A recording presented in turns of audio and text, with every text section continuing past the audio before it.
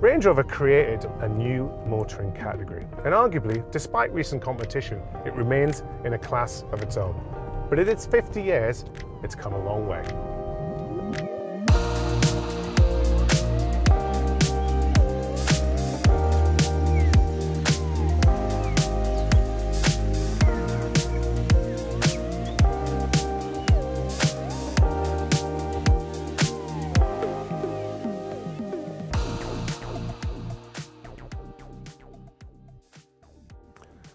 Latest version is light years away from the original model, but the DNA is still there, and you can trace the bloodline all the way back through those five decades of production. I'm here with Adrian Price, Solihull's operations manager, to tell me about this very special latest edition. So this is, this is one of the special edition vehicles you've got here today to celebrate the 50th anniversary of the Range Rover. We'll be building 1970 of these limited editions. 1970, uh, 50 Exactly, years? yeah, and they'll be available in four, four colours to celebrate that history. And I can see even already there's little 50th icons there That's and right. on the headdress, and it's every car's individually numbered. That's right. Yeah, no. So you'll see quite a lot of design cues as you as you see the vehicle, but you'll also see back to some of the original history. This is the the 2012 Range Rover that's now available in that special edition for 15 years. And that, and that was the first time we had the aluminium monocoque. Yeah, I can see. I mean, it's such a well, this is the latest version of that of the car, but you can always still see it's a Range Rover, isn't it? Right. You have these little design cues that take you all the way back to that original model. Yeah, no, so all the way back to 1970, you can still see the clamshell uh, bonnet, you can still see the gill uh, on the side of the Floating car. roof line. That's right, yeah. So you've still got those those design cues, even though we're 50 years on. I think speaking to Gerry McGovern in the past about this car, it's quite interesting because the breadth of its capabilities is enormous and it might not get used every day, but just knowing that's on hand, it's almost like having a, a Swiss watch that can go to a thousand feet below the sea.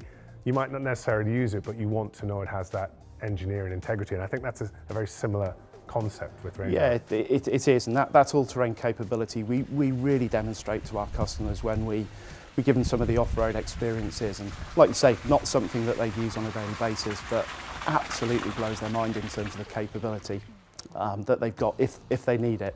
And it's nice to be here at uh, Solihull at the sort of home of Range Rover to celebrate this anniversary. Yeah, that's right, yeah. So 80 years ago is, is when we first started producing cars on this site here uh, in Solihull. 50 years since uh, the Range Rover started coming off uh, the production line in Block 1 uh, in June 1970. Well, I'm off to another location that's part of the Range Rover story, Eastnor, which is... That's great. So that's, that's going right back to where the engineering started 50 years ago and still continues today. And that all-terrain capability we've spoken about is certainly what you'll see there. So maybe the car won't be quite as clean and shiny as right. this, but we'll get into the mud and see what it's all about. Thank you very much. Thank you.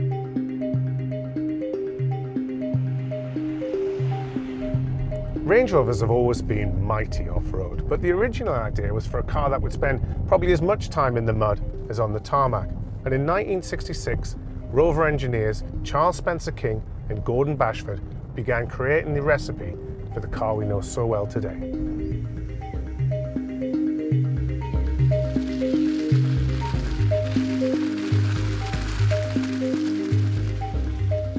And this is what they came up with. Well, maybe not quite this. It had a little bit more metalwork and a roof. But as you can see, unlike the aluminium monocoque of the modern car, this is a steel box construction.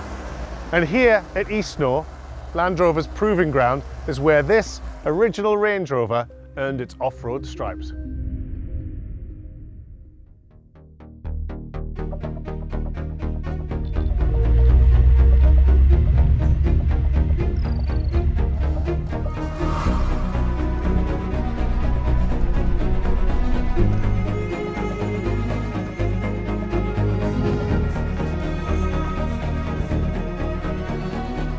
Here with Mike Bishop, Classics, well, also known as Classics Mr. Land Rover. Tell me all about this thing.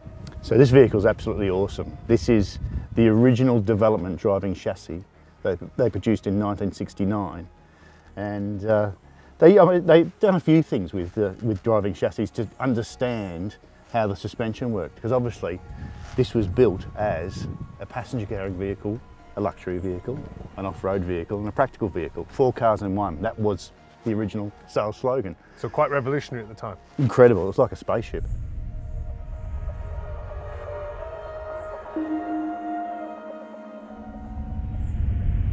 Often see too many Range Rovers these days in this much mud, but why is it so important that it's such an incredible off-road vehicle, even when it doesn't get used maybe so much as it would do?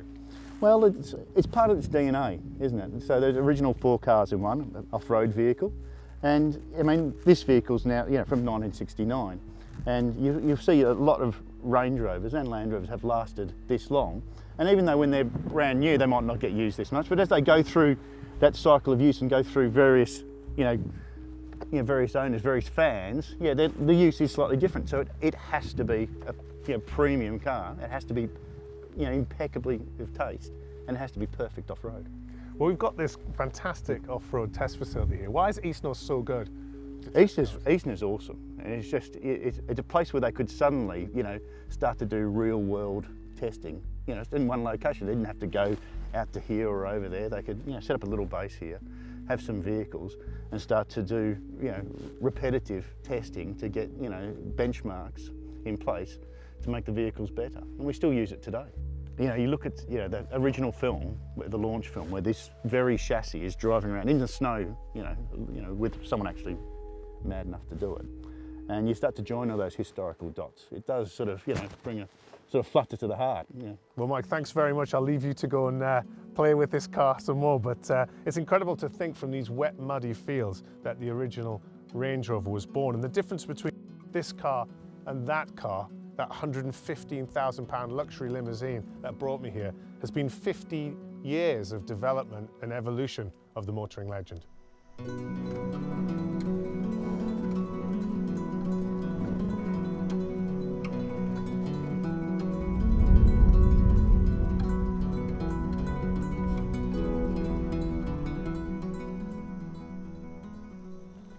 Here at Jaguar Land Rover Classic, you can see examples from the Range Rover family tree. And with their Reborn program, they're working really hard to keep these older cars roadworthy and in fine fettle. I'm here with Dan Pink, director here at Classic. Welcome, David. Should we take a seat? Absolutely.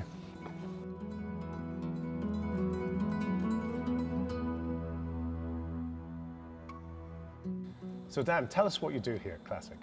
Well, we're the official source of authentic cars, whether it be purchasing a rare and collectible classic Jaguar and Land Rover, buying one of our fully restored back to original specification vehicles, or creating new legends such as our Jaguar D-Type continuation program. We have a parts team that are focused on ensuring the supply of parts remains open, as well as reintroducing or introducing new parts into the classic market. And the workshop behind us has a range of services for customers from basic vehicle health checks to retrimming the interior right through to bespoke custom builds. And we also have a collection of around 100 classic Jaguar and Land Rovers, which we use for various activities, but all focused on ensuring that enthusiasts can really experience you know, the iconic vehicles of our history.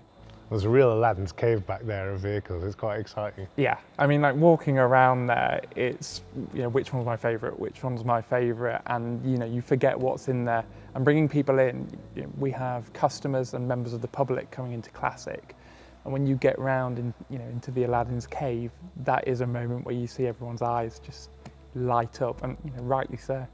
And here today we're talking about Range Rover, and in the top tier of your sort of restoration uh, services is the Reborn program. I mean, that is pretty amazing when you look at the quality of that car back there.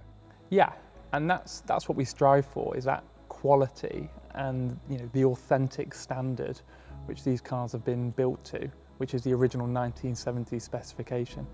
And I think you know, as an individual myself, trying to restore one of those vehicles to that quality is challenging. You know, fortunately, we've got you know the original drawings, the tooling, and the skilled technicians here, which you know, really enable us to meet that benchmark which customers, you know, you and I would expect of a Range Rover Classic. Well, I drove here today in, in one of the brand new 50th anniversary models, which is a, a fantastic modern vehicle. But what do you think is the charm of these older Range Rovers?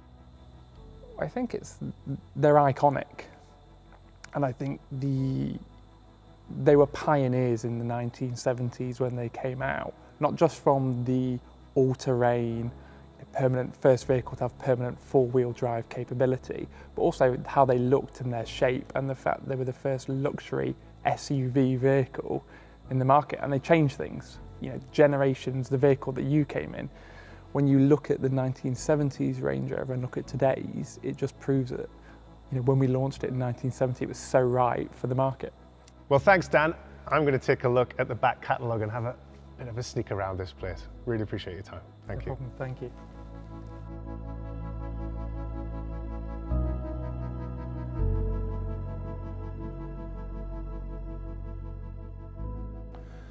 So happy birthday, Range Rover. 50 years of innovation and breaking new ground in the way we imagine luxury motoring. This, of course, is not the end of the story. And the car that broke the mold and created a category all of its own has a healthy future ahead.